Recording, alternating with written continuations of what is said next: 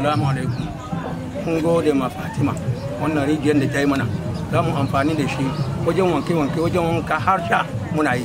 Don shi ubangiji allah ya biya ta allah ya ba ta ladan shi. Wannan aikin da ta yi mana allah ya ba ta ladan shi. Kuma ba mu kadai ba sauran unguwannin da suka sauran nan ga da suka gani wannan rijiyar.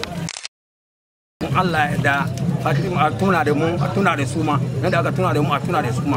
Don kowa ya samu. Alhamdulillah, that's my father here, inshallah. He prayed that, inshallah, Fatima, um, Fetije, may Allah actually bless you.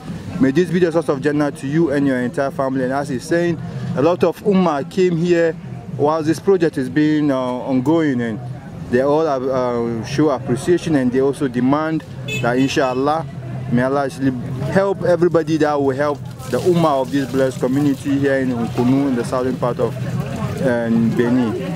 Alhamdulillah, Alhamdulillah, there are a lot of areas here that also seek this wonderful project. We pray that inshallah may Allah should bless you and may all the donors of Ansar International be blessed and touched. May this be the source of Jannah to you and your entire family. Wassalamu alaikum wa rahmatullahi ta'ala wa barakatuh.